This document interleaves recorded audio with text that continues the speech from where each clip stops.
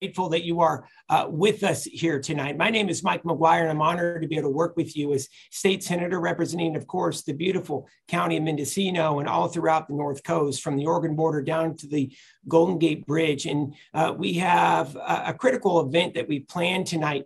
Uh, and we're grateful to have uh, two supervisors and uh, the hardest working sheriff in the state of California with us tonight, Sheriff Matt Kendall. Uh, and thank you to each and every one of you for taking time out of your busy schedule to be able to join us. We're going to have a really special focus tonight on the latest issues facing the unique communities that make up northern Mendocino County, along with the North Coast. And of course, we'll be providing a state update here in just a few moments. moments. Uh, want to have a few opening words, and I think that you will all agree with me. Um, times are incredibly tough. Uh, they're incredibly tough across the world and right here in our own backyard. And I would be remiss if I did not say that our thoughts tonight are with the incredibly brave and the strong people of Ukraine. Uh, I'm a firm believer, and I know that each and every one of you are as well, is that we need to stand strong for the people of Ukraine. The United States needs to be firmly behind them. And the picture couldn't be more clear about what we're up against. Ukraine is a true democracy, and Russia is far from it. Russia is an autocracy uh, led by a thug, Vladimir Putin. And I'm a firm believer the US, our allies, and yes, even the state of California must make the economic consequences swift, deep, and generational for Russia. And I'm going to be talking about here tonight in just a few moments about what the state of California will be doing uh, to be able to put pressure onto Russia to be able to end this atrocious war that they have waged against the people of Ukraine who are innocent.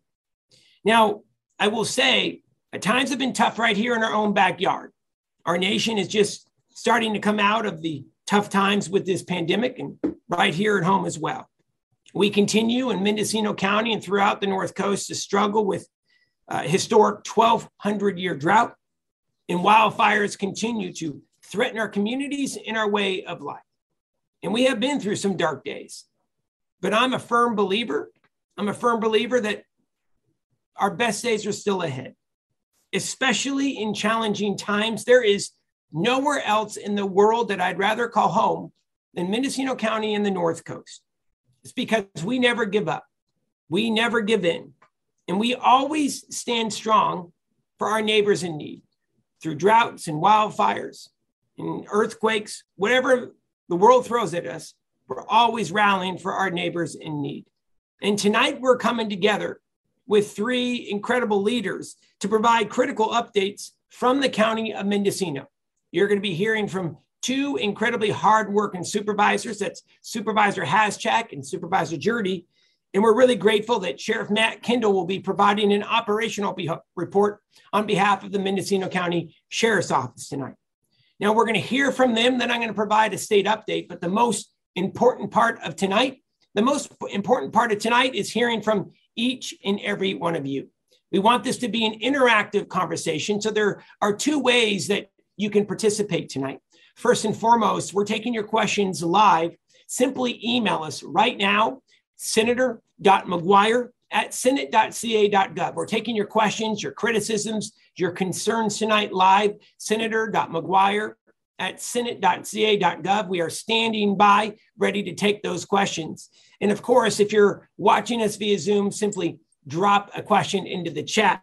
I've just been told we have about 120 folks who have tuned in tonight. We welcome you uh, coming to us from all throughout northern Mendocino County. Now, we also have questions that have been submitted, uh, a few dozen, I might add. So we're going to be getting to those here in just a bit. So let's get right into it. Uh, first up tonight, we are really grateful that John Haschak is with us. Uh, Supervisor Haschak, good evening to you, sir. Thank you so much for your dedication to the county and the North Coast. Uh, you have five minutes. The floor is yours. We welcome you and thank you for your partnership. Well, thank you, Super. I mean, Senator McGuire, and thank you to all the people who are attending tonight.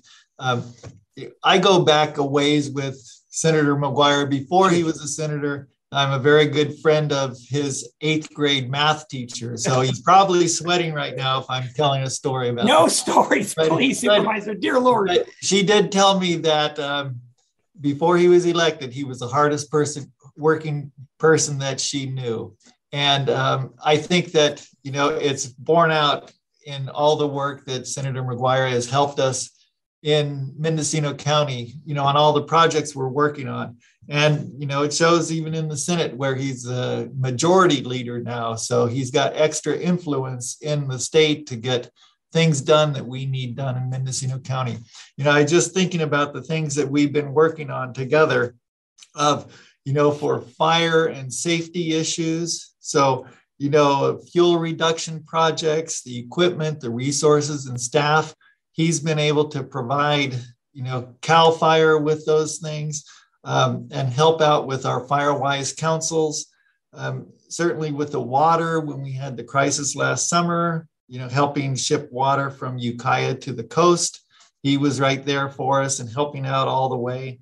Um, and now, you know, we're working on, um, as a county, you know, standing up a water agency so that we can have greater collaboration between all the districts in our county um, and really do a study on the quantity and quality of water that we're dealing with because those, those issues are critical as we enter another year of drought. And then uh, lastly, you know, economic development. And Senator McGuire has been there with us. He's been working with me on um, the cannabis and the tax reform that he's just proposed a bill for. We want to thank him for that. Um, career and technical education, that's um, near to both of our hearts. And we you know he started a construction program at the college. Um, you know i worked on this emt and paramedic program and certainly senator mcguire was very um, helpful in that process too. And and then there's broadband and all the um, connectivity issues we have in mendocino county. And um, he's been on meetings every month for the last year plus you know, getting better cell service and U.S. Cellular in in Covelo, Round Valley area. So really, I want to thank him for all this work. And you know, those are things that we're working on together: the fire safety, the water, economic development, and we're going to continue working on those things. So I see that there's a lot of questions about some of those issues. And anyway, thank you. I want to say thank you so much, Supervisor Haschak. And we do go way back, and uh, Supervisor Haschak has been dedicated to the youth of our county for many years as a dedicated teacher. Uh, and I'm so grateful that you're with us. And I am even more grateful that you're on the Board of Supervisors, sir. Thank you so much for being with us. Uh, ladies and gentlemen, we now would like to be able to turn our attention to Supervisor Gjerde. Supervisor Gjerde really is a veteran of the board. Uh, he's been that steady hand for all of these years. We're grateful that Supervisor Gjerde is with us. He's going to be giving us a county update, and we're going to be hearing from Sheriff Kendall in just a bit. Supervisor Gjerde, good evening. Welcome. Well, thank you, Senator McGuire. And I, I uh, agree wholeheartedly with Supervisor Haschak's comments about you being the hardest working member of the the state legislature. And, and I think it really shows the fact that they promoted you to majority leader. You know, I think you're maybe only, only the second majority leader from the North Coast in, in the history of California. Um, so just briefly, uh, I just to add one extra thing beyond what Supervisor Haschak talked about. He covered a lot of territory. Um, one of the priorities of this board of supervisors is to um, address one of the underlying issues of drought and and uh, fires, and that is climate change. And so, one of the things that we did, we invested the um, PG&E money um, that we received in the settlement almost entirely for fire and pre- and prevention for disasters, but we did dedicate two million dollars, about ten percent, um, to climate redu- or carbon reduction projects. So for the first time, the County of Mendocino now has a dedicated fund. You know, it's, it's a start to reduce our, our climate, Im- our greenhouse gas emission impact um, and, and get the county to a, a climate or carbon free um, footing for our buildings and our fleet. So it's a beginning. Um, we, are applying for grants right now to uh, install electric car chargers at county facilities. And this is following what we've already done, where we switched um, and offered Mendocino County residents Sonoma Clean Power, which is at this point 94% carbon free power, none of that coming from uh, nuclear power plants. And, um, and that's something that's helping all Mendocino County residents um, go basically carbon free with their electricity. so we, we really want to roll out new rebates and things. Um, we're also, Supervisor Haschak and I are working um, closely on this. Um, we're we're um, applying with Humboldt County, our partners to the north, to get public utilities funds, which will um, provide bigger rebates and more rebates in the hands of Mendocino County consumers and businesses so they can convert to uh, more fuel efficient and uh, electric powered heating systems for their water or for their buildings. And so, anyway, so um, all that's in the works, and um, really happy to be here tonight with all the folks here. Thank you very much. Supervisor, thank you so much for joining us. We're going to hear more from Supervisor Gjerde, Supervisor Haschak here in just a few moments. We're going to be getting to your questions. Several dozen have been submitted. Uh, we are now about 127. I see strong on the line, and we welcome each and every one of you. Uh, we want to remind you if you'd like to be able to ask questions, we're taking them live tonight. Feel free to email us right now, taking your questions, your comments. We're relaying your criticisms. Senator.mcguire at senate.ca.gov. Uh, would now like to be able to turn the event over to Sheriff Matt Kendall. Uh, I mean this when I say it. He's one of the hardest working sheriffs in the entire state of California. He works with all sides. I'm grateful to partner with him. Sheriff Kendall, the floor is yours, and we welcome you uh, to the town hall. We'll ask you to take yourself off mute. All righty. Can you hear me well? Once again, uh, just like my uh, my two supervisors here, I'd like to thank Senator McGuire. Um, every single time that we have a problem in Mendocino County, Mike meets us halfway, um, and I truly appreciate it. He's gotten us some funding this year to combat some of the things that I've been working very hard on. This year, um, we're going to be working extremely hard to deal with some of the drug trafficking organizations, the cartel style grows, the folks who are uh, basically causing some of the biggest, baddest, and ugliest issues in Mendocino County. Um, with some funding that we were able to see, receive from Senator McGuire, and I know that all three of us from the county are appreciative of that. Um, I believe that we're going to be able to start making some headway on these issues. and again, most of the issues that we're seeing are in northern Mendocino County, where supervisors Haschak and Gjerde are the, the, supervisors up there. And so we're going to continue to work uh, collaboratively to come up with new and innovative ideas to, to be able to serve and to be able to get some of these bad actors out of here. But one of the things we all have to understand is in order to get the bad actors out, we have got to support the legal market. And, you know, that support, you know, our our supervisors are working on that on a daily basis. As a matter of fact, I believe you folks had a an entire day long meeting, a special meeting on that, because we need to be able to support the legal market in order to undercut and get rid of the illegal market. You know, there's a reason why uh, there's a reason why people don't get robbed for Jack Daniels when you can simply purchase it at a store. You know, some of these things we've we're moving forward at a, at a good pace right now. We've just got to stay in it, and uh, we'll never know how strong our metal is until we have to test it now and then.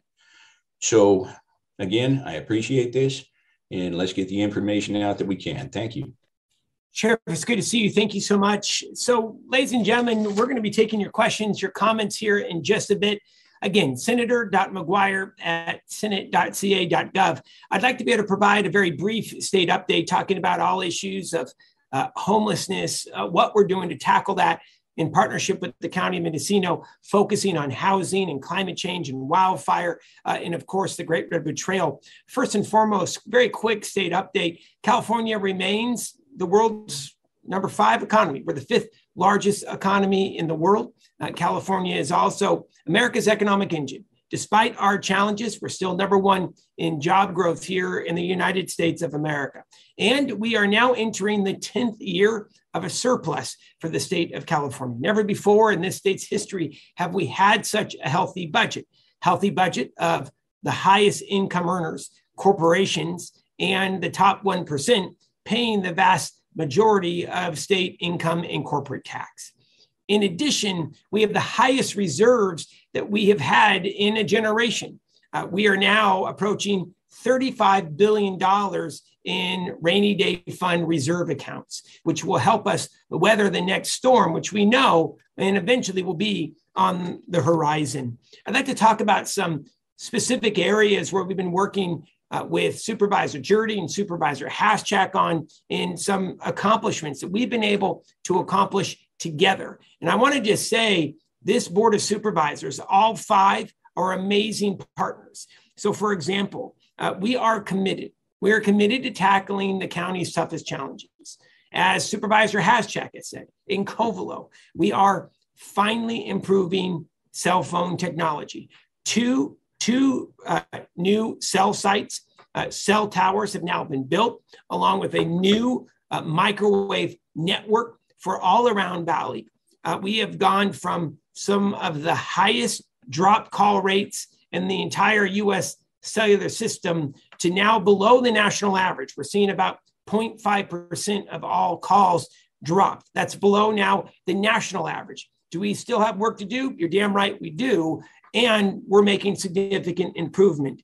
When we take a look at all issues uh, related to uh, homelessness, so we're focusing right now uh, on permanent supportive housing. That permanent supportive housing, for example, uh, in Ukiah, uh, 56 units. 56 units now uh, are, are operational in the city of Ukiah, and that is through a $10 million grant that came from the state of California. This would not have happened without the incredible work and candidly the backbone of Supervisor Haschak, Supervisor Gjerde, uh, and of course the remaining board of supervisors. And we're incredibly grateful for that. 5.4 million over the last 10 months have flowed into the county of Mendocino for emergency funding for homelessness, rapid rehousing, uh, housing vouchers, as well as emergency shelter. Now, we're rebuilding the Redwood Valley Water District. That's approximately $7 million that we're moving forward in.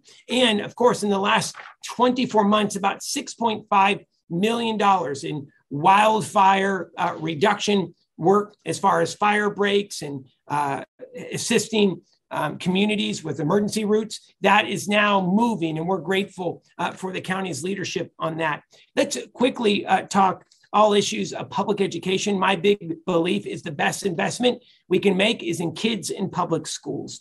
We are finally, finally coming out of the abyss, uh, the abyss here in the state. The fifth largest economy in the world should be number one in the nation in spending on our students. Bottom line. So here's where we're at.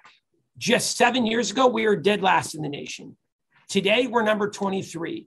My hope is in the coming 24 to 36 months, we're going to be in the top 10 out of any state in the United States of America. We are focusing on expanding counseling at all schools across the state, especially as we come out of this pandemic. We need to make sure that we are taking care of kids and their social emotional support, expanding the number of counselors uh, throughout the state of California in rural schools and urban schools in every corner of this state. We now have gone to universal school meals, universal school meals. So students no longer have to sign up to be able to get free and reduced lunch and free and reduced breakfast. It's automatic. What we know is that kids hunger. If a kid is hungry going to class, they're not going to be successful in the classroom. So now it's universal across all schools that every child can access school meals. Here's the other really important piece we have to drive down the cost of college. From here on out, the first two years of community college for any student at a 2.0 grade point average, any student can now get their first two years of community college paid for by the state of California. And it's about damn time. If we take a look at some of the top rates of bankruptcy in this nation, in this states, it's unpaid medical bills and it's college tuition and college debt. So we're driving down that debt. We're also expanding the number of childcare slots for women who are in the workplace. We're going from 400,000 state subsidized childcare spots to now 600,000. It's more important than ever uh, that we do that here in the state of California. I want to talk about broadband for a moment. Let's just be really candid about this. Uh, there are too many Californians, and we know this living in, on the North Coast. We know this living in Mendocino County. Too many of us are on the wrong side of the digital divide. And it's incredibly frustrating. Uh, we are never going to be able to be that economic powerhouse that we can be if we don't have access to high speed and reliable internet. So, what are we going to do about it? The state of California has now launched the largest public internet project in American history right here in California. $6 billion. It's in the bank. We've secured it. $6 billion to be able to build out the spine, the spine for the public broadband project. We're going to put fiber along Highway 101 and state roadways, county roadways, connecting rural communities, hospitals, and schools uh, in every corner of this state. We're taking a worst first approach. And what do I mean by that? Unserved communities first, underserved second. So that means the North Coast, we have more unserved communities than anywhere else per capita in the state of California, along with the North State to the east of us, will receive the vast majority of the funding and will get the funding first. And it's about damn time. So we're breaking this down. 3.25 billion will build the spine of the network, lay the fiber, where communities then can tap in. Uh, the remainder of that funding will be given directly to communities, whether it is Willits or Leggett or Ukiah, uh, to be able to tap in and uh, launch their own public network. This is going to be a game changer for the state and a game changer for our region. We need to fix the CAL FIRE firefighter shortage. That's another big focus for us this year. CAL FIRE's firefighter ranks peaked, staffing peaked in 1975 for CAL FIRE, before I was born. It's unacceptable. So this year, we're going to hire 1,124 firefighters to be able to start fixing the CAL FIRE firefighter shortage. We're going to hire 16 additional CAL FIRE hand crews, 48 uh, firefighters each in each hand crew, and we're finally going to go to three firefighters per engine. The average CAL FIRE engine has 2.5 firefighters on it. If you look at a municipal fire engine in a city, it's three firefighters per engine. If you look at uh, the federal fire department and the Forest Service, they have four firefighters per engine. Cal Fire, 2.5. It's unacceptable. And we're burning more acres than we ever had. So we are focusing on uh, hiring a record number of CAL FIRE firefighters. In addition, you're going to see several billion in additional dollars funding wildfire fuel breaks, preparing emergency routes for veg management, right? Making uh, breaks along emergency routes like Brooktrails, for example. Uh, we are focusing on taking out dead and dying trees, on doing selective, selective and strategic forest thinning around communities. Uh, that is absolutely critical. And we're going to have the funding in the budget this year to be able to help local communities, whether it's in Mendocino County, Humboldt County, or Lake County. I'd like to quickly talk about an issue that Supervisor Gjerde brought up, and I'm grateful for that, and that is climate change. Uh, California is the canary in the coal mine. We are seeing the impacts of climate change today, and we are threatened by sea level rise.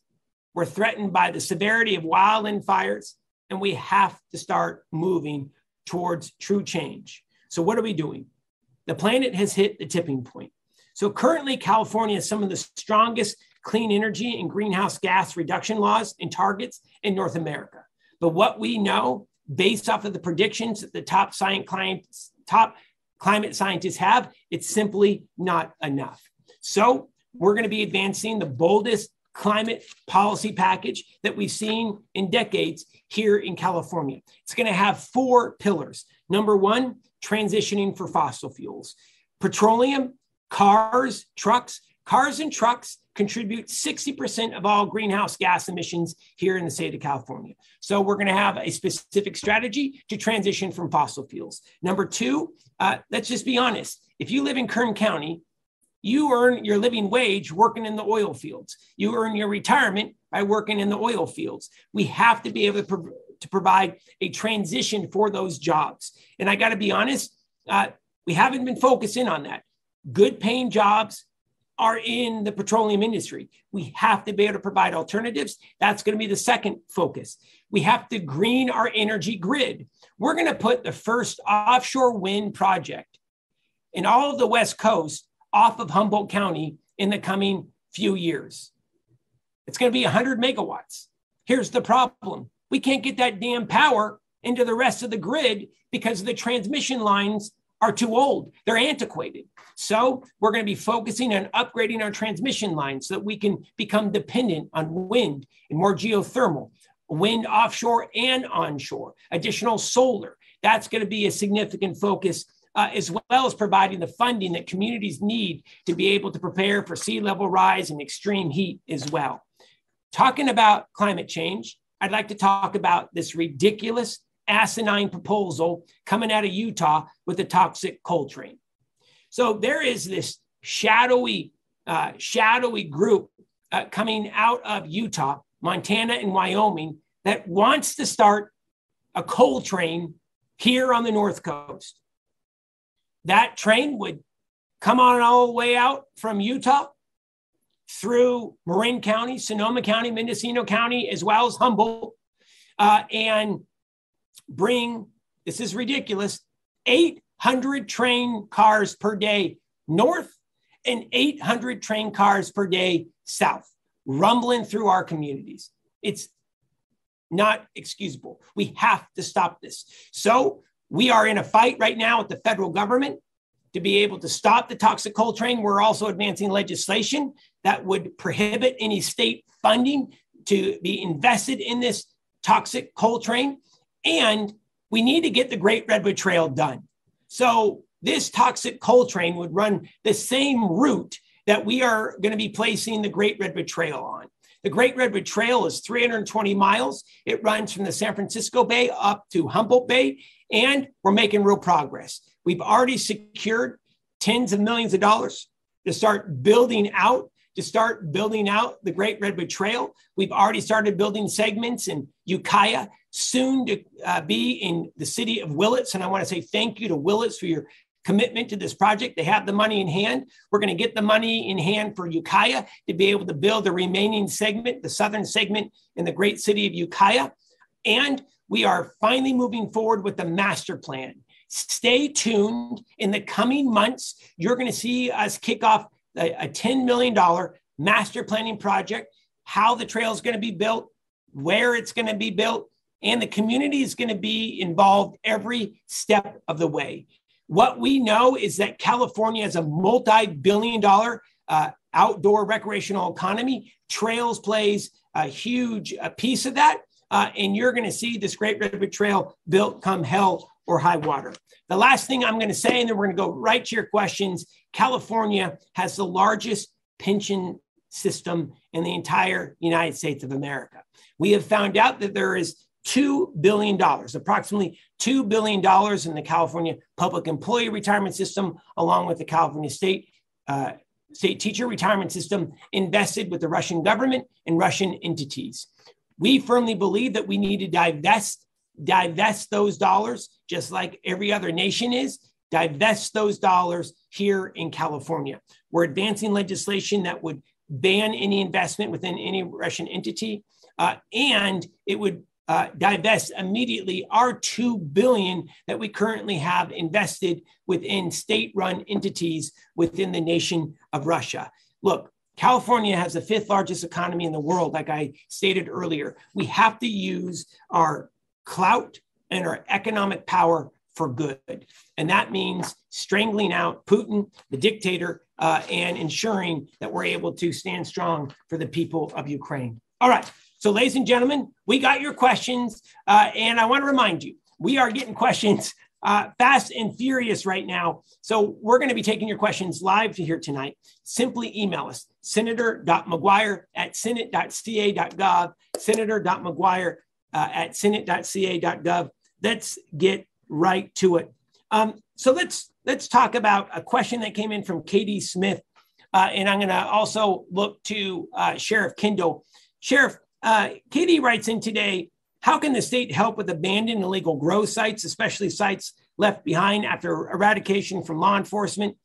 Obviously, these sites are riddled with trash and dilapidated infrastructure. So I'll just say this: number one, uh, Assemblymember Wood is very focused on this specific issue. He's going to be advancing legislation this year that would provide enhanced funding for counties to be able to clean up old grow sites. Uh, so you're going to see that, number one. And then number two, uh, I firmly believe that we need to get matching dollars that would match uh, Assemblymember Wood's efforts to allow counties, after Sheriff Kendall, for example, moves forward with eradication effort, to allow counties to help clean that up, contracting with the, the California Conservation Corps, or local conservation corps as well. But I'm going to go to Sheriff Kendall to get his thoughts on this critical issue as well. Sheriff. Well, thank you, Senator McGuire. One of the things that I think that, that uh, we've been looking at, particularly in Mendocino County, is we've got some uh, we've got some groups with uh, a, a, lot of knowledge and a lot of information regarding these site cleanups and things like that. And they're forming right now. Um, one just formed a little company the other day uh, that are going to be helping us with some of the environmental blight. Um, one of the things that we're looking at doing is possibly contracting with them so that when we show up and we deal with something, it's marked and there is a plan for the mitigation of it. And of course, the county would have to be a portion of that because it's violations of uh, Mendocino County codes. But I think that uh, working together, we can come up with a good system to get these areas marked, get the mitigation efforts um, basically laid out, and then get the mitigation taken care of. In the past, on public lands, we've worked with um, different groups, uh, Friends of the Eel River up out of Covelo, things like that, where we've been able to take volunteers in, along with some federal funding to get um, some helicopters to lift the plastic and, and the garbage out of these sites. But I think that as we move forward, we're going to see a lot more of this. And so we're going to have to continue working on these issues and coming up with good plans and good personnel to be able to get the areas cleaned up. Well, thank you so much, uh, Sheriff. Sheriff Kendall talking about cleanup of cannabis sites. Uh, sure, uh, Supervisor Haschak, did you want to chime in on this issue as well? Well, I'll just add that, uh, you know, that's a huge issue for all of us in this county, but we're also working with um, Caltrans for Clean California, and we just passed a, a $200,000 front to front Caltrans for the um, free bulk day um, days, six of them throughout the county. And so um, the county's fronting Caltrans. Caltrans will reimburse the county. It's all through the Clean California program. And we've also applied for a um, community development block grant for over a million dollars for the Round Valley area because it's not just that kind of um, garbage left over from cannabis programs or sites, it's also the influence and impact it's having on communities. And we're seeing that garbage all around. So Thank you so much. Trying, yeah, we're just trying to clean it up. Let's keep on the issue of cannabis, right? Uh, so look forward. I'm going to go to Sheriff Kendall and then, of course, uh, Supervisor Haschak and Supervisor Gjerde we got a lot of questions on cannabis here tonight, gentlemen. So Sandra writes in, I continue to hear conflicting interpretations about what constitutes, quote, a legal cannabis grow. A large property that's for sale insists that 10% of the property is okay for a grow. I'd like to see or hear uh, a definitive statement of what's legal and how our water trucks will be monitored. Uh, Supervisor Haschak, do you want to talk about the water trucks and uh, what the interpretation is of legal and not? Supervisor Haschak. Yeah, at this point, you know, 10,000 square feet is the limit in, in Mendocino County. So anything over that is not in compliance with our county ordinance. Um, as far as the water trucks, we're going to be dealing with that on March 15th. I have an agenda item that's coming to the board to deal with water extraction and water hauling. And so we hope to get um, some ordinances in place that we can really crack down on those. And we're looking at really, you know, it's very hard to to deal with the water trucks when they're in route, but we're looking at, you know, where are they getting the water from? So if we can go to the source of the water, you know, we're looking at trying to uh, really get a handle on that and control it at that level. Thank you so much, Supervisor Haschak. Uh, Supervisor Gjerde, any items that you'd like to add to that? Just that um, I know that Fish and Wildlife is also looking at, at uh, water theft, and so we appreciate any work that they can um, contribute towards um, ending water theft in Mendocino County. Thank you so much, uh, supervisors. We're taking your questions, your comments tonight. Feel free to email us right now. We're getting your questions. Thank you so much. We're going to get to more here in just a moment senator.mcguire at senate.ca.gov. We're taking your questions, your criticisms, uh, all comments live here tonight. Senator.mcguire at senate.ca.gov. Let's keep with the issue of cannabis. A lot of cannabis questions. I promise you, we're going to transition after this. Uh, Justine writes in uh, Could uh, McGuire and Kendall uh, please provide an update on how the 600,000 Mendocino County received from the state to target the quote, worst of the worst illegal marijuana grows that they announced last September has been spent? I'll take uh, first stab at this and I'm going to turn it over to the good sheriff. So, a little bit of background. I don't think there's a silver bullet to be able to go after the illicit grows, right? So, number one, we need to make it, I, I think we need a comprehensive strategy. Number one, we have to look at taxes. Uh, the cultivation tax in this state is ridiculous.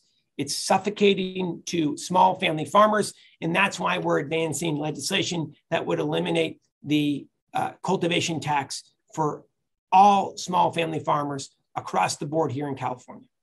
Number two, we need to make it easier for individuals to come out of an, the illicit market and into the light of the legal market, meaning we have to cut down the permitting time and costs to go from illegal to legal.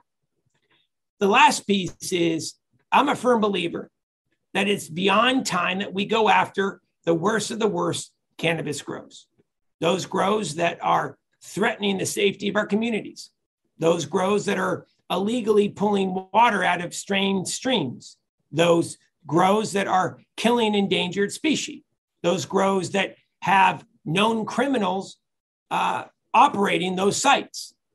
And I need to give credit where credit is due. Sheriff Kendall approached us uh, late last summer and said, McGuire, what the hell y'all doing uh, when it comes to funding for cannabis, illegal cannabis eradication? literally within two weeks, we were able to secure $1.5 million. And again, I want to give credit where credit is due. This all came from Sheriff Kendall's office. We were able to secure the money that will now put 1.5 million, 600,000 for Mendocino County, 600,000 for Humboldt County, 300,000 for Trinity County for a multi-county eradication effort. Those dollars arrived into each of those counties' coffers about 30 days ago. Right now, the counties, our office, the California Department of Fish and Wildlife, and the Bureau of Cannabis Control are coordinating on this eradication initiative that could start as early as the coming weeks and will most likely uh, go into later 2022. Um, it will be a collaborative effort between the three departments. The sheriff is going to talk about some additional partnership. Uh, it will also include law enforcement from the California Department of Fish and Wildlife. It will include scientists from the California Department of Fish and Wildlife to help document the environmental degradation that's present, officers from the Bureau of Cannabis Control, and potentially the California National Guard. And that's the structure. It's going after the worst of the worst but Sheriff Kendall, uh, I want to turn it over to you to talk about uh, the eradication initiative that's upcoming and coming to a worst of the worst grow near all of us. Please, Sheriff Kendall. Thank you, Senator. So several months back, um, myself and uh, uh four other Northern California sheriffs began talking about forming a coalition to be able to combat some of these worst of the worst things. Um, we were talking about a collaborative approach amongst counties eh, to be able to stop the damage because these things are actually running over county lines. And a lot of the work that we had done in the north, it was almost like we had squeezed this balloon and it popped out into Trinity County. And then Sheriff Saxon would squeeze the balloon and it would pop out into Humboldt County. And so we decided that if we were to come together and, and have a collaborative approach on this, especially now when across California, law enforcement officers, our numbers are really low. COVID knocked out police academies. Uh, a lot of different things happened, and then we're in a real struggle to hire. So, by combining all of our forces, uh, we came up with a plan basically to curtail the illegal cultivation of cannabis by drug trafficking organizations, address and mitigate uh, environmental damage caused by the Ill- illegal operations. And so that mitigation factor is, is another portion of this that, uh, you know, we can find it, but we're going to have to deal with it when we do. And so we've still got some, some balls in the air on that. We're working with uh, some different, um, different little companies that are forming to help us do that. And then to identify and investigate, prosecute any incidents, any incidents of uh, human trafficking either sex trafficking, labor trafficking, that type of thing that we know often goes on with the worst of the worst. um, and using the funding that Senator McGuire was able to uh, secure for, for us, basically, our collective counties don't have to pay for the overtime and the per diem that it's going to cost for these counties to come help me and for me to come help them. We've got that, we've got that funding now uh, whereas, you know, I would have to go and, and, and beg and borrow and, and, and try to get it out of my supervisors over here who are pulling their hair out trying to find funds for everything else at the same time. And so I think that we're going to have a really good year this year dealing with those worst of the worst. We're going to be able to draw a line in the sand. And I'm keeping my fingers crossed right now that we're going to be able to jump on a few things that we hadn't been able to before simply because of personnel. And, and, Sheriff Kendall, I want to follow up on that, but let's just be candid, right? This is a drop in the bucket. Um, we're identifying the worst of the worst growing operations on the North Coast, but I mean, I, I got to be honest, we're looking at dozens upon dozens of illegal sites. And what you're going to see focus on this year, based off of 1.5 million, is what you just stated. And um, but you could probably use millions of dollars over the coming years to go after uh, these cartel grows, correct? I believe so. But at the same time, we've got to get out there, start the work, take the pulse, and have a measured response to the things that we're running into. And honestly, um, I think that uh, just this first step is going to be a, a step in the right direction. And hopefully by the end of the year, we're going to see uh, we're going to see enough headway in this that the fight will be less next year, and then it'll be less the year after that. But we got to take that first step in order, and, and you know it's going to take us several years to clean this up. But do we want that to start today or several years from now? My vote's for today, and uh, so that's that's the direction we're going right now. 100%. Thank you so much, Sheriff Kendall, for your leadership on this. All right, I want to go to uh, Robert's question. Supervisor Haschak. Robert asks, are there going to be stronger restrictions on water hauling and groundwater extraction this year to illegal cannabis grows? Supervisor Haschak and Supervisor Gjerde, please. Yes, uh, thank you, Robert, for that question. Like I said before, on March 15th, we are going to bring an agenda item to the board um, it's Supervisor McGourty and myself because we're the ad hoc on drought and um, water issues. And so, really, we're looking at um, limiting water extraction and, and also putting some limits and restrictions on water hauling. And so, if you have if you want to see exactly what we're proposing, send me an email at haschakj at mendocinocounty.org. I can send it to you. You can look at it and any public comment on March 15th. You know, you can see it on probably March 12th when it comes out. It's published as a, on the board agenda. And um, we appreciate any kind of comments because we're still looking at it as a work in progress. Absolutely. Uh, I want to go to our next question. I'm going to go to Supervisor Gjerde. Uh, Supervisor uh, Morgan writes in, uh, what are you doing to take steps to implement desalination technology in our region? Supervisor Gjerde, uh, Fort Bragg, yourself and Fort Bragg and the state partnered on this pocket plant uh, that I think could be a real example of what can work. But Supervisor Gjerde, I want to turn it over to you as Morgan is asking, how can we expand desal uh, here on the North Coast? Supervisor. Yeah, so I think many of us have heard of desal as uh, originally um, in other parts of the world where they were taking water out of the ocean, and that's incredibly energy intensive because it, you know you're removing a lot of, of, of, salt. And so what the city of Fort Bragg did in partnership with the state is is uh, uh, secure funding for a, a very I would call almost like a portable facility and it provides about 30% of the city's water and it's only turned on in in uh, low water flows. So what they're doing is they're taking water that's in the noyo river um, where there's a little bit of brackishness in the water so it's too salty to drink but they can just remove that little bit of brackish uh, brackishness and and they deposit um, the salt into the sewer plant uh, which treats or it's it's absorbed in the treatment and then disposed of. Um, so it's it's not a solution for all water source and it, but the good thing about it is sort of a turnkey thing so they can just turn it on when they need it. Ultimately i think what we need um, on the coast is we just need more water storage. And you know you look at other parts of california they've got relatively lar- large water reservoirs. We've got the rainfall we just don't have a place to store it because we've had so much of it historically that we didn't need to store it. But now we're kind of recognizing that you know times have changed and we just need to increase our storage capacity because that's actually the cheapest water you can get is is just stored water and gravity fed.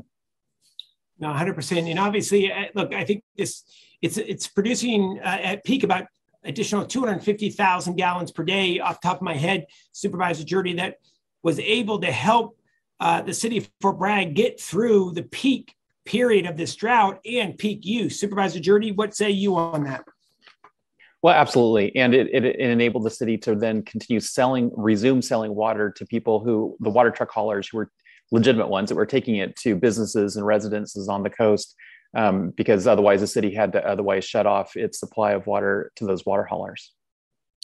Uh, that's Supervisor Gjerde representing uh, northern Mendocino County, along with a large chunk of the Mendocino coast. We're really grateful. All right, uh, let's uh, turn it over to the issue. We're getting some questions in here today of combining two county departments the Department of the Treasurer, Tax Collector, along with the Department of the Auditor Controller. Uh, and just folks wanting to be able to understand the rationale behind that. Um, and I'll turn it over. Uh, Supervisor Gjerde, do you want to take this one, please? Yeah, sure. Um, so there's different opinions about this, but from my perspective, those are both important offices, but they're pretty small. They're about 10 or 12 and 13 people per office. And so, what we're um, doing under state law, we're allowed to um, combine those into one office with one elected officer who's running the office. And so, that's what uh, the board has, has done. Um, and uh, so, there will be an election um, coming up soon um, where this June, um, the voters will elect who runs that office. And under that office, there'll be a deputy department head in charge of the treasury function, and there'll be a deputy department head under the auditor controller function. Um, so we think it should run very smoothly, and we are having meetings with those two existing departments about their staffing levels. They both are understaffed due to recruitment issues. and we're getting getting them some assistance from HR, and also we have had uh, uh, some additional support given to them uh, by the IT department because while all of this is going on, there is also um, an update of the county's uh, software for its um, property management system. So it involves multiple county offices. Anyway, that software system, we're working out a lot of glitches um, with the vendor and the IT department. So giving a lot of support basically to those two offices right now. And, and, and I do believe that it will be a successful transition when the two offices merge into one effective January of 2023. All right, thank you so much, Supervisor Gjerde, on that issue. All right, let's go to our next. Uh, Joseph writes in about the Jackson State Demonstration Forest and wanting to get my thoughts. And am I going to uh, attend? It was this past Monday when I was in Sacramento, uh, a walk in uh, the forest. Uh, but Joseph, I just want to give you my opinion as you had asked. Look, here's my bottom line on the Jackson State Demonstration Forest. And obviously, I look forward to hearing from any and all of you. Number one, I believe that the model, the model for the Jackson State Demonstration Forest is antiquated. Number two, in these modern times, I'm not exactly sure what the force is demonstrating to the state of California. Uh, number three, I firmly believe that the Jackson State Demonstration Forest must have a focus on climate and fire resiliency, which currently uh, it does not have a significant focus on those two critical issues that are impacting our community and our planet. Um, and I am a firm believer that the state needs to advance a revamp of the management plan early. So we already know that the Department of Natural Resources for the state of California will move up the review and revamp of the management plan five years early. It's actually going to kick off this year. And I'm also a firm believer that we need to have an interim plan because to complete that management plan starting this year, it's going to probably take 24 to 36 months to be able to complete. So I believe that we need to have everything on the table for this interim plan. Um, and uh, we need to have a serious conversation about what we want the future of the Jackson State Demonstration Forest truly to be.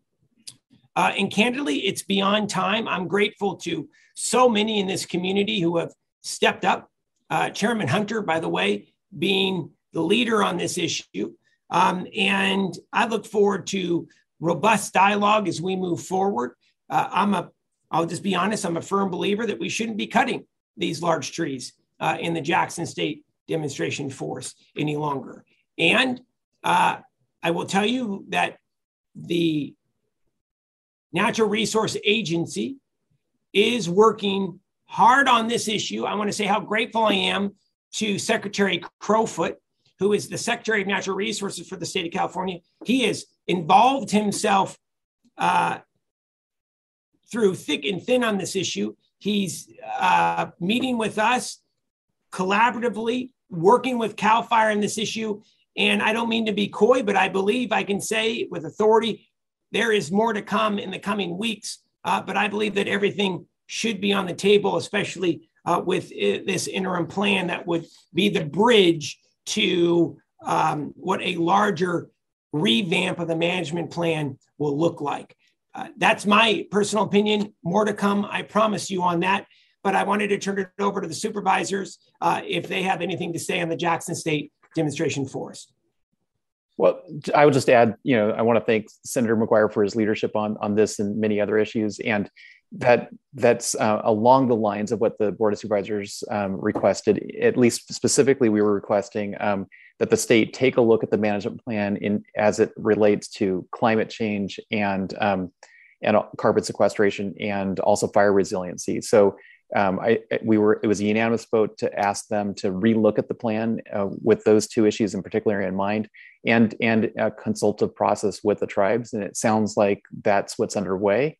Um, and I appreciate that update, Senator McGuire. Absolutely, Supervisor Haschak.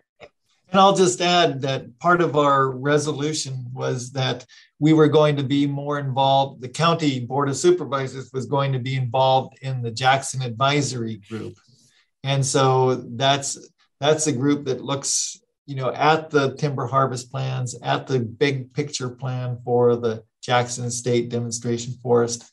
So so we uh, hopefully that will happen soon because i guess they're in a transition in jackson state and um, and the board will be involved.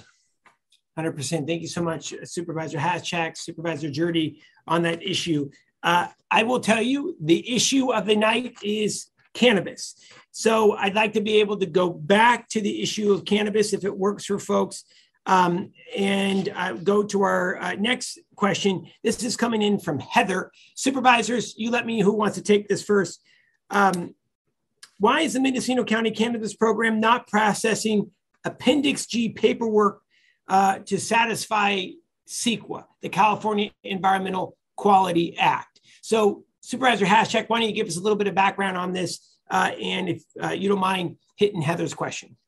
Yeah, Heather, um, you know, Appendix G is like the bridge that we have from our program to the state CEQA. And so right now it's been put on hold by the cannabis program while they were dealing with the portal because the portal is where people who are applicants are still trying to get their information in. And so so the cannabis program, because they don't have the staffing that they need, they had to put a halt on something, and it was processing these Appendix Gs. And so hopefully that will start up soon and we will get those moving because we understand that people need to get their annual state licenses. And so I think with super with Senator McGuire saying before, you know, part of our cannabis program needs to be holistic you know, not just going after the worst of the worst, but also making sure that people can get their annual licenses. and get to state licensure. Supervisor Haschak on all issues of local cannabis regulation. Supervisor Gjerde, any items that you want to add to this? Uh, just that, you know, it, this is a relatively new um, industry to be regulated. And, you know, regulation in local government, state government, it's not always simple. And so, it, you know, um, you know we we've continually looked at adjusting our ordinance and adjusting our program to try to um, meet the the multiple competing interests um, and uh, so I think Supervisor Haschak is um, working very hard on the on this issue with with our cannabis program, and I think our cannabis program, from what I can see, is actually in a better position today in terms of staffing and and its productivity than it's ever been. So I, I, know people have probably heard that for some time, but I, I urge some patience. You know, I, I, think you know we're we're getting it to be a higher performing organization, and it actually today officially became its own department. That's huge news and major progress. Thank you so much, Supervisor Gjerde. I want to go to our next question, and this is in regards to the Great Redwood Trail. Shannon writes in, uh, how do you plan to help local resources, uh, the state, uh, fire, sheriff, ambulance to help respond if needed on the trail uh, when they can't handle what they already have to deal with. Um, and why do governments spend money on things like trails when our rural areas need water storage, industry resources? Please do not build the trail. Um, so here's what I'll say, Shannon. Um, I, I think what's really important is this trail is going to be one of our largest economic drivers. Um, the outdoor recreational economy in the state is worth over $50 billion. Prior to the pandemic, it was worth over $80 billion. One of the largest economic drivers for Mendocino County and Humboldt County is tourism. And you take a look at what large destination trails bring in for the communities that are along it, it's significant. It's a significant boom for restaurants and inns. It's a significant boom for um, retail people come from far and wide to be able to walk the coastal trail in California, the Appalachian Trail back east. And this will be the longest rail trail in the United States of America. So let's talk about public safety for a second. And I agree with you, Shannon, that we should all be concerned in regards to how we're able to work in collaboration with rural sheriff's offices and volunteer fire departments that would need to be able to respond to the trail. So, what I've always said about the Great Redwood Trail is number one, we can't do it fast. We have to do it right. That's why we secured $10 million to be able to move forward with a trail master plan. So here's how this is going to work. Number one, we need to uh, move the current agency into the 21st century. Uh, and coming up next month, the North Coast Railroad Authority, which is all been focused on trains, is transitioning to the Great Redwood Trail Agency. So this new board will have a trail focus. Number two, we're bringing in a new management firm. It's through the Coastal Conservancy, the State Coastal Conservancy. One of their main missions is to be able to build trails. They're building the coastal trail, and they've been building the coastal trail for decades. I say all that is we need an experienced manager overseeing the board in all operations. And candidly, we need an experienced manager to be able to oversee the master plan. So here's the master plan. The master plan is going to look at all construction costs. The master plan will study the route. The master plan will study what type of surface will the trail be. About 90% of the Great Redwood Trail is going to be like a backcountry trail, less than 10 feet wide, all on dirt. The great piece about the Great Redwood Trail, it's going to be relatively inexpensive to build outside of cities because you're literally just building it on top of the rail bed. As part of the master plan, there is going to be a public safety study determining what we believe call outs for ambulance rides, uh, law enforcement disturbance, fire will be. We also are going to do a wildfire safety study uh, for the Great Redwood Trail. So that's going to study uh, how to be able to keep uh, the trail wildfire safe. Here's the good news I've heard a lot of folks say that wildfire will be created potentially from the Great Redwood Trail. If you take a look at the largest wildfires in this state, it's not coming from trails, it's coming from PG&E. It's coming from vehicles. It's not trail users. Uh, and I encourage you to be able to look that up uh, and to be able to fact check me. And that's the honest to God truth. So uh, I'm a firm believer that this is going to be a worldwide destination because the Great Redwood Trail, nowhere else on earth, are you going to be able to walk from the bustling waters of San Francisco Bay up through Mendocino and Sonoma wine country, to be able to walk through uh, national wildlife uh, corridors inland, to be able to walk through state parks along the trail, and eventually end up on the sparkling waters of Humboldt Bay and through all of the amazing communities that make up the North Coast. This is going to be a game changer for us. Uh, and I couldn't be more excited. But my big belief is we have to do this right, not fast, which is why we're going to be having a 24 to 36 month planning process for the Great Redwood Trail. All right, let's go to uh, our next um, our next question, and that is on all issues of uh, a think tank for Mendocino County. Supervisor Gjerde. Uh, Morris Morissette writes in: Is there a think tank looking at helping with business growth in the rural areas of northern Mendocino County? Uh, and I'll then turn it over to Supervisor Haschak. Um, in a way, yes. So we have a nonprofit in Mendocino County called uh, West Business Center, and the county is contracting with them uh, to provide for economic development um, strategies, helping out businesses. And um, so uh, they are our designated entity. But I would also encourage if anyone has any economic uh, development ideas to email Supervisor Haschak or myself or West Company directly and um, propose their ideas, or if they're seeking help for their existing business um, again, West Company um, it, it, it, develops or has uh, um, advisors on all sorts of things. Everyone from people who give advice on their business taxes to how to get a planning permit, um, the whole gamut. And it's not income based. It's it's here to help any business, any individual who wants to start a business in Mendocino County. That's Supervisor Gjerde. Uh, please, let's go to Supervisor Haschak. And another thing that we've tasked the West Business Company with is, is to create a database of grants. And so what we're looking for is easy access to grant for economic development, you know, community development, those kind of issues. So if you have any questions about that, you can contact the West Business Center or contact me Really appreciate that, Supervisor. Thank you so much. Uh, let's go to our next question. Our next question is coming from Lucy. Lucy asks, when is the Great Redwood Trail going to be built in Willits? So, Lucy, we got some good news uh, for you.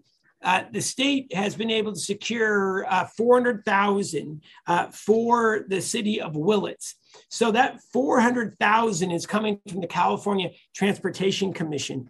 Uh, that is going to be from the depot in town to the north end of town. Uh, Willits will need to be able to apply for the remainder to go from the depot south.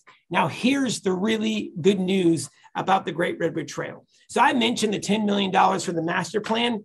In addition, we've secured $350 million for trail build out all across the state. And guess where that 350 million is going to be housed? The Coastal Conservancy, the Coastal Conservancy who will now manage the Great Redwood Trail.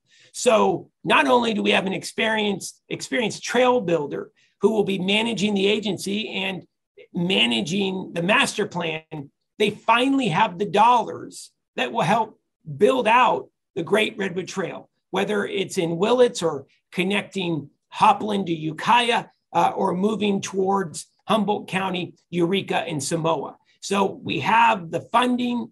Uh, we're moving forward on the master plan. Uh, and I got to tell you, uh, this would not have happened without the Mendocino County Board of Supervisors. I just want to be blunt about that.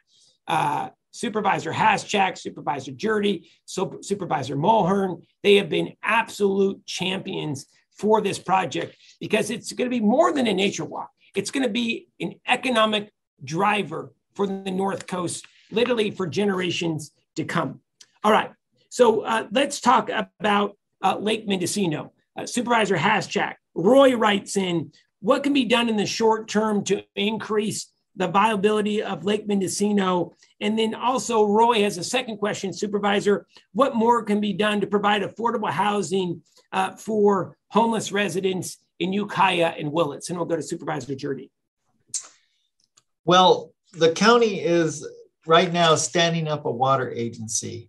And because we understand that Lake Mendocino can't be counted on right now, there's so many problems. There's federal issues that um, really are going to be years in, in dealing with. And so, what we're trying to do as a county is stand up this water agency, make sure that there's more collaboration between the different water agencies um, in the Ukiah Valley, and um, so that we have more security because we need to we need to be secure in our water because with without water we don't have life. And so that's one of the things we're really trying to work on is like i said before figure out what the quantity is what the quality is and make sure that there's um, interties between different water agencies thank you so much supervisor please uh, supervisor Gjerde. yeah if i could on the housing issue um, you know, and I could broaden it out if I could on all housing. I mean, really, the housing issue is just really challenging everywhere in California and and clearly here in Mendocino County as well. It's um, you know, it the cost to build housing is it's just high when you're building houses one house at a time. It's not like we're building fancy. Most houses in Mendocino County, you know, we're not building fancy houses, but if you build it one house at a time versus twelve or thirty at a time, like like they do in Sacramento and other places, you know the cost per square foot is just higher. And so when you have people who are you know like all of us working for a living you know you, you go to a bank and you, you borrow money and, and you can't finance you know a house that's built as, as if it's a custom house even if it's not fancy. And so um, so we, we've got a lot of challenges there.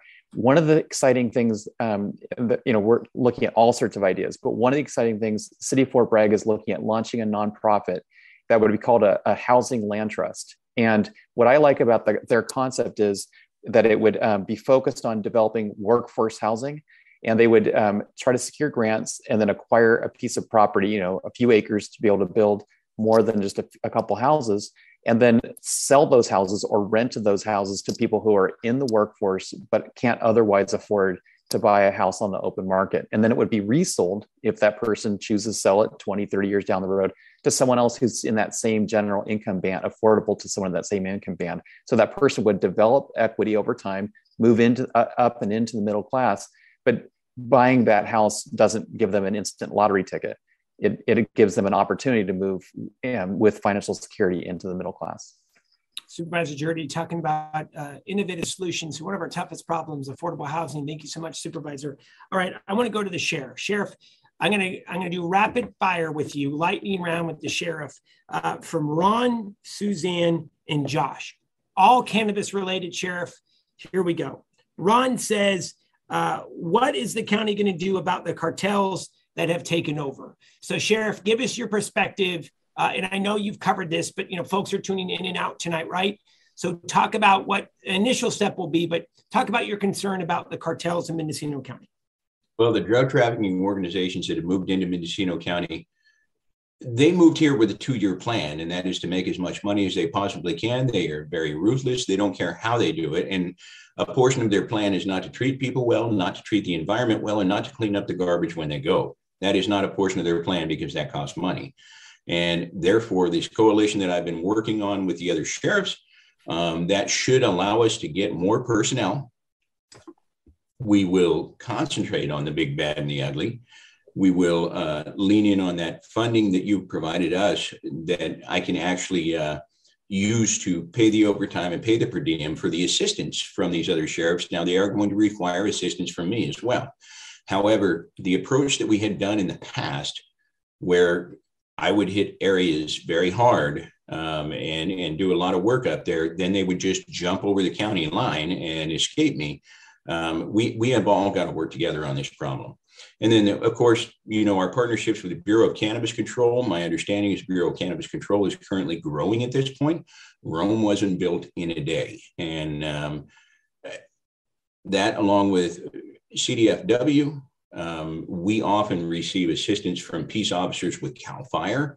Um, we have to reach out and kind of grab onto everyone that we possibly can to be able to get things done when we run a cannabis unit in uh, Mendocino County with two people, because that is all that we have. um, you know, it's pretty hard to get some of these big, bad, and ugly unless we jump in and we work together. Sheriff Kendall, talking about cannabis, I want to go to uh, Suzanne's uh, question, a little more pointed, somewhat related. Sheriff Suzanne says, Uh, and I know you've you've talked about this, but again, folks are coming in and out tonight. What are your plans for curtailing environmentally and socially damaged illegal cannabis grow sites this coming season? What type of funding is available? You just talked about the funding, but Sheriff, give us the lens in which you're using to target the worst of the worst. Worst of the worst, I, I have four prongs basically that hold pretty much equal levels drug trafficking organizations where we know that we have a drug trafficking organization and these guys are bad bad fellas who are doing bad things. Second is going to be any trespass grows. Trespass grows are not okay. If i'm paying the taxes on my land you don't get to trespass and grow on it. Environmental damage uh, if we have environmental damage there we have to deal with that. And then the last one are these locations where we have been dealing with homicides we've been dealing with shootings any violence human trafficking um, labor or sex trafficking, those have got to be dealt with as well. And so those are our four prongs. Of course, the ones with violence have to come first because that requires an immediate response. Um, labor trafficking, sex trafficking, violence, we have got to deal with those immediately. And then, you know, all of these take priority for us. When they meet any of those four prongs, those are the ones that we have to deal with immediately. Thank you so much, Sheriff. Uh, hitting those important issues, really grateful, Sheriff, on that. I'd like to be able to continue with the issue of cannabis in water. Sheriff, um, how do you intend, uh, Pat writes in, how does the sheriff intend to be able to enforce bans on water deliveries to illegal cannabis grows? Honestly, I'm going to have to uh, work with Supervisor Haschak on that because, um, you know, currently the bans are Mendocino County Code, um, and we've got code enforcement and whatnot for that. Um, I am pretty darn short right now. My deputies are called to call and then writing reports. Um, if we happen to be on a um, an obvious, uh, you know, illegal water truck, of course, we're going to deal with it. I cannot afford to pull my people off of um, patrols when we're dealing with robberies and homicides and things like that to uh, to deal with the code enforcement work. But um, you know, code enforcement and uh, our building and planning department they had a big shot in the arm with personnel this year, and we're hopeful that that's going to be uh, we're hopeful that that's going to be a, um, a help and a deterrent. All right, let's talk about uh, enforcement for please Supervisor Gjerde enforcement on on uh, water deliveries to illegal cannabis grows. Supervisor Gjerde, Supervisor Haschak then. Yeah, um, just generally, I mean, um, the, sheriff brought code enforcement, and when I first became supervisor back in uh, 2013, there were three code enforcement officers for the entire county. We're now up to I think nine. Plus, we have one attorney in the county counsel's office dedicated to backing up the code enforcement division uh, with this legal assistance. So, you know, it's it's never enough, but it's definitely bigger than ever, and and they're recruiting, they're filling positions. So I know that they're going to be. Um, I know that they are in constant contact with the sheriff's office. They work with the sheriff, and um, they pr- they provide the kind of support that they can. And um, so when they when the sheriff's office sees something that code enforcement can deal with, they're going to be on it. Supervisor Haschak. Yeah, and we're looking at different approaches to it because certainly we can't put it all on the sheriff or code enforcement. We're looking at, you know, this water agency controlling the water sources.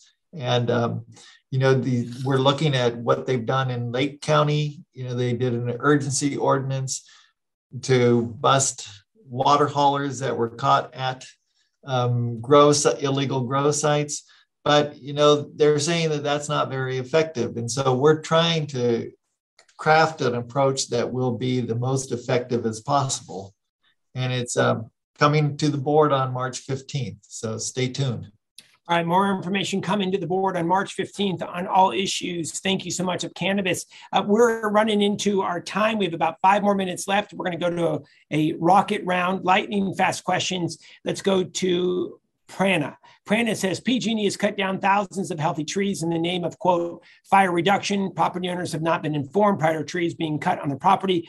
Who at the government level is providing oversight uh, regarding PG&E's destruction? Why isn't PG&E being required to bury lines in high fire risk areas? Prana, thank you so much, uh, and I apologize if I mispronounced your name, but look, I'll be really candid with you. I literally just sat down uh, with the brand new CEO of PG&E yesterday to talk about this issue. So um, PG&E just announced an undergrounding plan for their most high fire risk uh, transmission lines. I'll be blunt; it doesn't go far enough, uh, and you're going to see us advancing legislation this year once again to force PG&E to not only expedite the miles of line that they need to underground, uh, but two, uh, provide ratepayers a metrics. So if they don't hit their goals for the year, um, it comes out of the shareholders' pockets. And I firmly believe we also need this legislation to protect ratepayers uh, because this is going to be an expensive project. So, number one, we're going to be advancing legislation that will protect ratepayers and, and expedite the undergrounding of high fire risk lines. There's about 10,000 miles of PG&E line. A lot of that goes through Mendocino Lake and Sonoma counties, along with the North State. Uh, and we know when PG&E undergrounds these lines, and let's just be blunt, they should have done this friggin' job years ago. Um, we're here now. We have to hold them accountable. Uh, and we have to look at a more sustainable solution, and that's getting those lines underground. And, and I firmly believe while we're undergrounding these lines, we also have to put telecom underneath the ground as well. So that's something that we're going to be working on here in the coming months. And Prana, I'm really grateful uh, for your response. Jeff writes in and says, Mike, you talked about a thousand more CAL FIRE firefighters. How about at least two responders in every fire protection district station 24 hours a day to put out these wildland fires uh, when they are still small? Look, Jeff, I agree with you. There are some grants available, uh, but I, I got to be honest, CAL FIRE is understaffed. Um, and they've been understaffed for over 40 years. Um, CAL FIRE has a philosophy, a mission to get their fires out 10 acres or less. They're able to do that about 90% of the time. They have to do better. They're the gold standard of a firefighting force here in the United States of America. And 54,000 mental health calls have come in from uh, CAL firefighters over the last three years. We have to focus we have to focus on getting more uh, CAL FIRE firefighters uh, uh, hired. And yes, I agree with you about volunteer departments, but uh, we have to make sure that we're focusing on CAL FIRE first, since they are the legal first responder on so many of these fires. And I'm just going to be blunt. Um, I don't, the feds are going to invest some significant funds, but the National Forest Service firefighting force is so underfunded. If we don't invest in CAL FIRE now, I think we're going to be in uh, more dire straits because the feds are even further behind on where the state is at in regards to hiring firefighters. But uh, you're going to see this moving forward uh, here as we move forward. All right. Um, I'm going to just last question for each of our panelists. Uh, I want to go to, let's see here. Um, so sorry, there we go. Uh, Stephanie writes in uh, status of the Great Redwood Trail and how can we help? Uh, I was just in Re- Utah and they really report um, that uh, the coal shipping possibilities are real on our coast. Supervisor Haschak, uh, want to get your take on the Great Redwood Trail. You've been instrumental, along with Supervisor Mohern, Mohern, on this issue. Your take on, I, have talked a lot about the Great Redwood Trail. Last question for you. Give us your take on moving the Great Redwood Trail forward. Well, yeah, I'm going to be on the Great Redwood Trail Agency. And, you know, we've had discussions with people all along the um, Eel River Canyon to see what their concerns are. We've had discussions with people in the Hopland area. So we're moving forward. We're, we understand that there are going to be lots of issues, lots of concerns out there. But at the same time, like Senator McGuire says, there's lots of possibilities and the board did do a um, declaration, a resolution against this coal train. So, you know, we're we're supportive of the senator's efforts to stop that in its tracks. 100%. I want to go to our next question, and this one is going to now be for the sheriff. Sheriff, uh, we've had a few questions tonight about violence against Native women, uh, and you are uh, Covelo is your family's home. Uh, you're over there every weekend, uh, and especially in Mendocino and Humboldt counties, we've seen um, violence against Native women increase over the last 10 years. We've seen unsolved cases uh, throughout the state and here on the North Coast. If you don't mind, last question for you. Uh, I know this is a priority for you, focusing on violence against Native women and uh, what the Sheriff's Office is doing on this uh, really critical issue. Well, I've been working with the uh, the MMIW, the Missing and Murdered Indigenous Women's Group, um, as well as you know a lot of my friends. Uh, we've we've got a case that keeps me awake at night because she's the child of a couple of folks I grew up with and who are good friends of mine. One of the things that we have to do is we have got to continue pushing forward to build better relationships so that when these crimes happen, we have people who are willing to pick up the phone and call us. We have people who are willing to give us the information immediately when they occur. We've got to change the culture in some ways to where I get a lot of phone calls in the middle of the night from people who know me, but they need to have the same trust in these deputies that are serving them on patrol every day. And, you know, sometimes it's actually a deterrent to call me because then I have to wake up and write down their information and then call my dispatch and explain what's going on when it probably would have been better to call 911. Let's work really, really hard on working hand in hand to change some of the cultures so that people are not afraid to be a quote unquote cop collar or a snitch. That is not what you're being. If you pick up the phone when you see something violent going on, you're being a good neighbor, you're being a good human being. Absolutely, Sheriff Kendall. I know this is very personal for you as well. So thank you uh, for that. Um, last question coming in to Supervisor Gjerde, and this is coming in from Matt. Uh, Matt asked Supervisor Gjerde, what's being done about providing broadband internet and uh, cell phone coverage to residents in rural communities in northern Mendocino. Um, Supervisor, obviously, we're working together on that six billion that's moving. There will be Mendocino County projects, but if you don't mind, Supervisor Gjerde, give us an update uh, on broadband activity here in Mendocino County, especially connecting small rural communities. And we're going to go to closing comments from each of our panelists. Well, as Senator talked about earlier tonight, um, the state's making an unprecedented investment in uh, broadband statewide, and uh, it, they've tasked Caltrans um, to use their their right of way and, and their know how to deliver projects to deliver that uh, middle mile throughout the um, Caltrans right of way, public right of ways.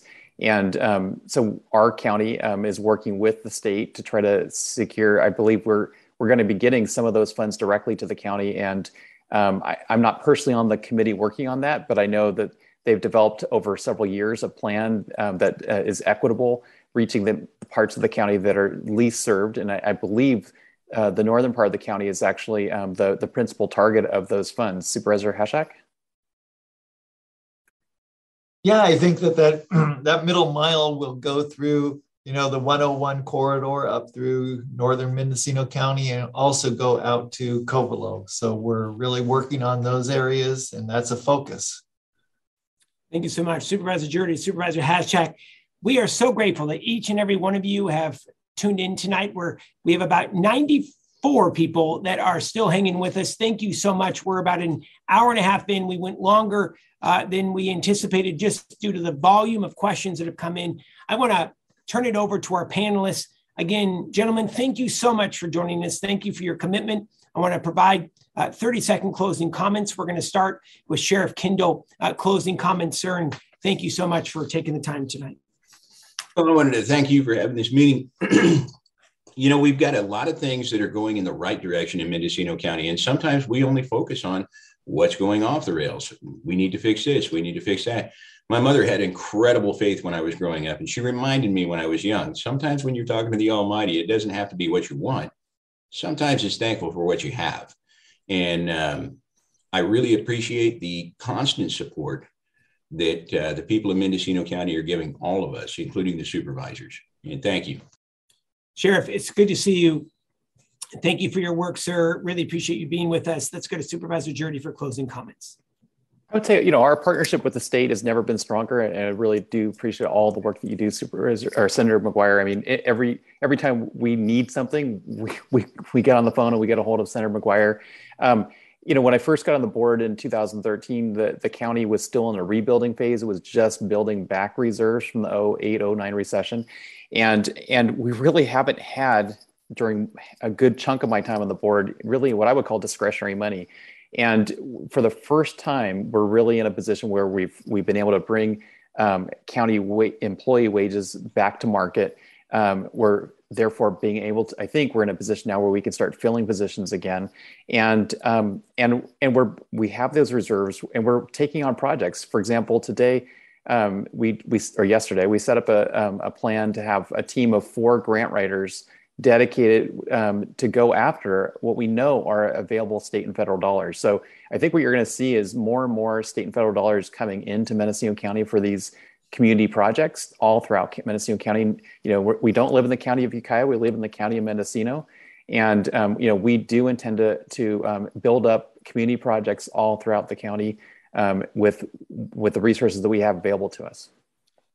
Supervisor Gjerde, you make a really great point. I mean, you have to admit uh, from where you started to where you're at now, due to the, the fiscal prudence of the board, um, much better off than ever before. Supervisor Gjerde, I don't want to put words in your mouth, but there are some really difficult lean years, correct? Yeah. Thank you so much, Supervisor Gjerde. Uh, closing comments from Supervisor Haschak. Well, thank you, Senator McGuire. I really appreciate your you're having this town hall for the people of northern Mendocino County, and I think the people are really appreciative of it. And thank you, and thank you to Sheriff Kendall and to Supervisor Gjerde. You know, great partners in this government work that we're doing. You know, obviously we've got a lot of work ahead of us in dealing with you know fire, with safety, with economic development, and you know the water, the drought issues that we have. There's a lot of issues before us, but um, you know, there I don't think there's anyone who are better people to work with and who are harder workers than what you're seeing here. So thank you very much. Supervisor Haschak, thank you. Very grateful. Uh, and I just want to end it right here and say this.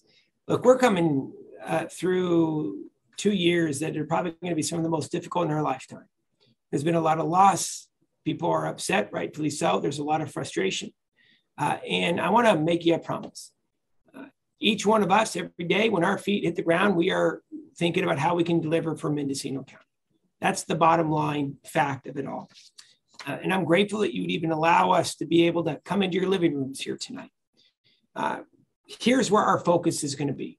Our focus is going to continue to deliver on making our communities more wildfire safe. Bottom line, we're going to be focusing on this drought uh, and how we can uh, continue to invest in additional storage systems, how we can invest in desalination systems, uh, in additional wells for inland communities. We're going to be focusing on homelessness. Uh, it has to be uh, near the top of our priority list. Of course, you're going to see additional work on the worst of the worst cannabis grows being eradicated.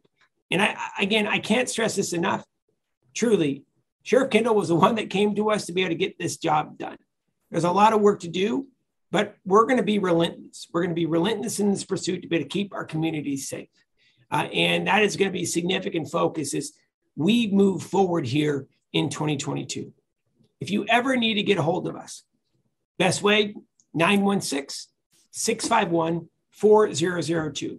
Call us or email us anytime. Senator.mcguire at senate.ca.gov. Senator.mcguire at senate.ca.gov. And I want to say thank you to Trevor. I want to say thank you to Carrie, Adriana. I want to say thank you so much to Brooke and to John, who are all behind the scenes that help make tonight possible. And I want to end it as we started it. There is no other place that I would rather live. We're full of grit, we're determined, and we get the job done. We never give up. We never give in, no matter how tough the times have been. And let's just be candid times have been tough. And we always are there for our neighbors in need. I know that's going to continue for the years and decades to come. Thank you so much for joining us tonight. I'm sorry if we didn't get your question. We were inundated with questions. We went longer, uh, but thank you so much for the ability to be able to work with you each and every day. Stay strong, Mendocino County. We look forward to talking with you soon. Thanks for tuning in tonight.